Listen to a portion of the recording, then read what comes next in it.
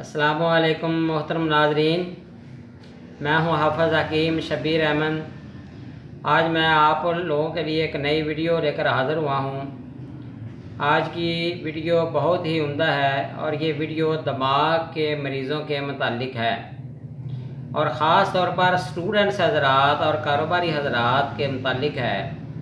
Student حضرات کے متعلق اس وجہ سے کہہ رہا ہوں کہ جو بچے اسکول کا سبق یاد کرنے کے بجائے رٹا لگاتے ہیں اور رٹا لگانے کے بعد بھی ان کو سبق اچھی طرح یاد نہیں رہتا یا وہ کاروباری حضرات جو سارا دن کمپیوٹر کے اوپر کام کرتے ہیں یا کاروباری دفاتر ایسے جہاں پر وہ لکھنے پڑھنے کا کام کرتے ہیں تو کچھ چیزیں اہم لکھنے کے بعد وہ بھول جاتے ہیں کہ کون سے رجسٹر پر کام کیا تھا یا کہاں پر کوئی چیز ایسی اہم لکھی تھی۔ تو وہ ان کے دماغ کی میمری ویک ہونے کی وجہ سے وہ سارا ڈاٹا بھول جاتے ہیں۔ اور اس کے علاوہ وہ مریض کہ جن کو رات کو اس طرح کا پرابلم ہوتا ہے کہ جب وہ سوتے ہیں تو ان کا دماغ جاگ رہا ہوتا ہے اور آنکھیں بند ہوتی ہیں۔ لیکن کنڈیشن دیکھنے میں ظاہری طور پر ایسی لگتی ہے کہ وہ سو رہے ہیں جبکہ وہ سو نہیں رہے ہوتے، بلکہ وہ ذہنی کشمکش کا شکار ہوتے ہیں، کیونکہ وہ کسی کاروباری معاملے کے بارے میں سوچ رہے ہوتے ہیں یا کوئی ایسی ذہنی الجھن ان کے دماغ پر سوار ہوتی ہے جو کہ ان کو نیند کو ختم کر دیتی ہے۔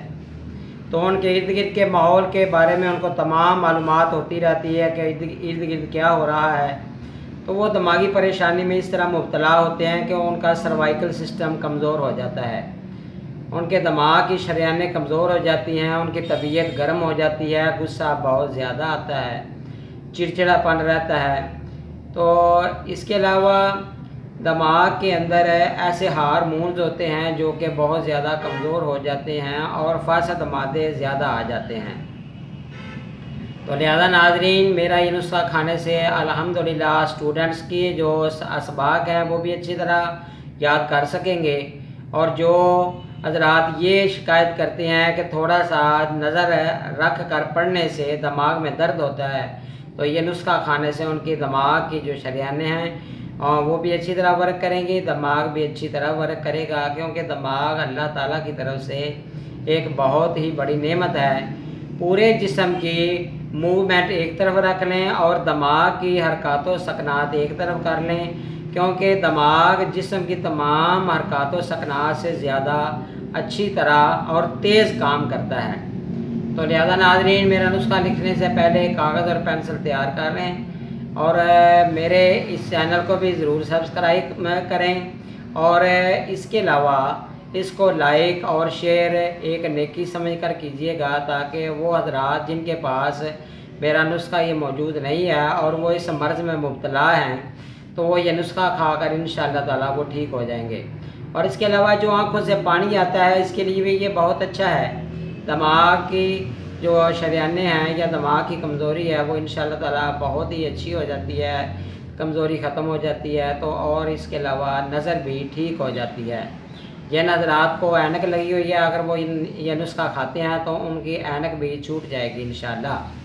تو نسخہ لکھ رہے ہیں میرے بھائیوں، پہلی چیز ہے مغز اخروٹ، دوسری چیز ہے مغز بادام، تیسری چیز ہے مغز پستہ، چوتھی چیز ہے مغز کدو، پانچویں چیز ہے مغز کھیرا، چھٹی چیز ہے مغز چلغوزہ، ساتویں چیز ہے استخدوس۔ آٹھویں چیز ہے انجیر۔ ان تمام چیزوں کو آپ نے پچاس پچاس گرام لینا ہے۔ اور جو اگلی چیز آپ کو بتانے جا رہا ہوں وہ ہے برہمی بوٹی دماغ۔ یہ آپ نے سو گرام لینی ہے۔ برہمی بوٹی دماغ آپ نے سو گرام لینی ہے۔ تو ان تمام چیزوں کا آپ نے صفوف بنا لینا ہے۔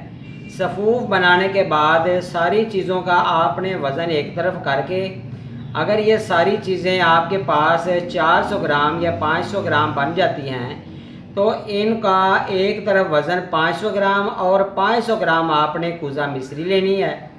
یعنی کہ تمام چیزوں کے وزن کے برابر آپ نے کوزہ مصری لے کر اس کے اندر مکس کر دینا ہے۔ تو مکس کرنے کے بعد آپ نے یہ ایک صفوف بن جائے گا، تو اس میں آپ نے آدھا کلو شہد ملا لیں۔ اگر آپ نے شہد نہیں ملانا تو یہ پاؤڈر یا صفوف بن جائے گا۔ تو تمام حضرات آدھا چمچ صبح اور آدھا چمچ رات کو صبح نہار پیٹ آپ نے کھانا ہے اور رات کو کھانا کھانے کے دو گھنٹے کے بعد آپ نے کھانا ہے۔ تو ان شاء اللہ تعالیٰ دماغ کی کمزوری ٹھیک ہو جائے گی۔ اور اس کے بعد جو آپ نے دودھ پینا ہے، دودھ میں آپ نے سونف ضرور ڈالنی ہے۔ کیونکہ سونف ہم نے اس نسخے کے اندر ایڈ نہیں کرنی۔ آپ نے جو دودھ پینا ہے، اس نسخے کو کھانے کے بعد صبح نہار پیٹ اگر آپ آدھا چمچ لیتے ہیں تو آپ نے ایک گلاس دودھ لے کر اس میں آدھا چمچ سونف ڈال کر اس کو بائل کرنا ہے۔ تو جب اچھی طرح اس کے تین چار جوش آ جائیں تو اس کو نیچے اتار لینا ہے۔ تو اس کو اچھی طرح آپ چھان کر، پن کر آپ پی سکتے ہیں۔ اور رات کو بھی یہی آپ نے عمل دہرانا ہے۔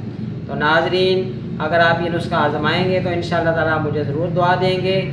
میرے اس نسخے کو ضرور آگے آپ شیئر کیجیے گا۔ اللہ تعالیٰ آپ کا حامی ناصر ہو۔ اللہ حافظ ناظرین۔